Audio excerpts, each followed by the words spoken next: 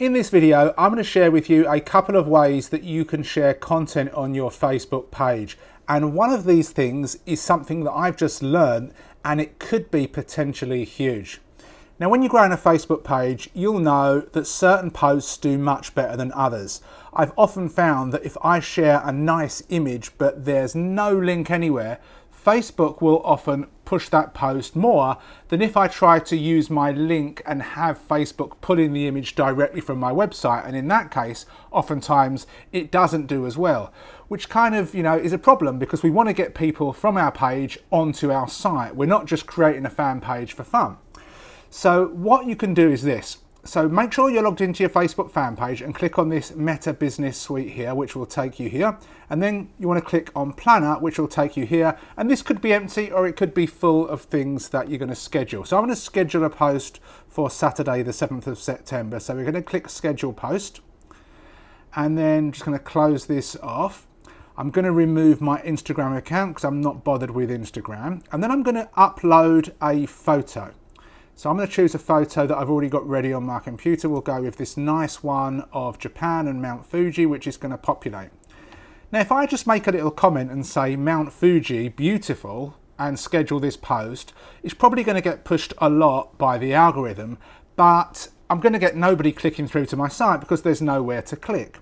So what I could do is I could get rid of this and then I could go and grab a related URL, come back here and then I could come down here and click on this link. Then I can grab the URL to a blog post which has that actual image in it, come back, paste the link, wait for a couple of seconds, and when this preview headline comes up, I can hit save. So we've got the same image, but now we have a link here which takes people to our site, which sounds great, but unfortunately, this isn't going to get us the results we want most likely because we've got a link here which is not Facebook. So Facebook is going to basically restrict how many people it shows this to, which is quite frustrating. So what we can do is we can do this. We can go back and do the original thing of adding a photo so we'll add the photo.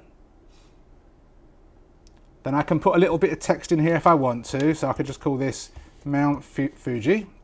And then what we can do is we can click on schedule. However, there's one more thing that we can do. We're not going to boost this. We'll wait for this.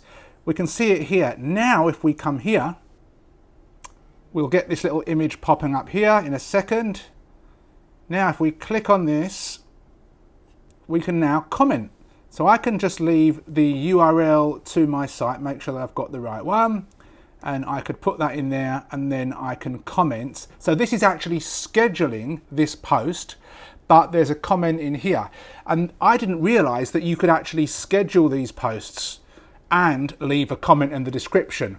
What I've been doing is waiting until the post has been public and then going back in and adding a comment, but oftentimes I'm asleep when that happens, so I've got to wait seven or eight hours till I get back online.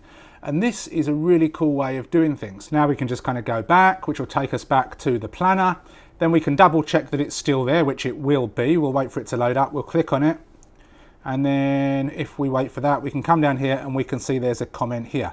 What you can also do is you can kind of click down here and you get the comment kind of pop up, then you can click on comment and you've actually got the comment there. And this is another way for you to add the comment as well.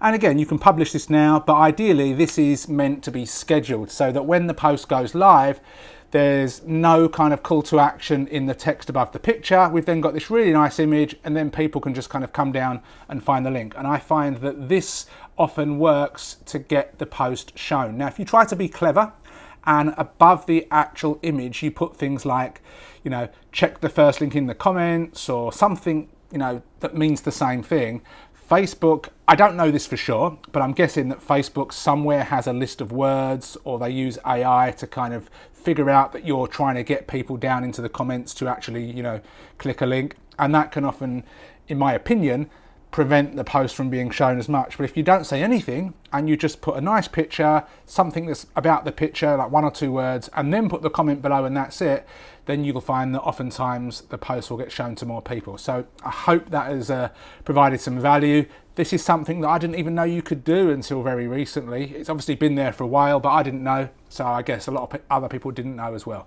Thanks for watching and I will see you soon. Take care.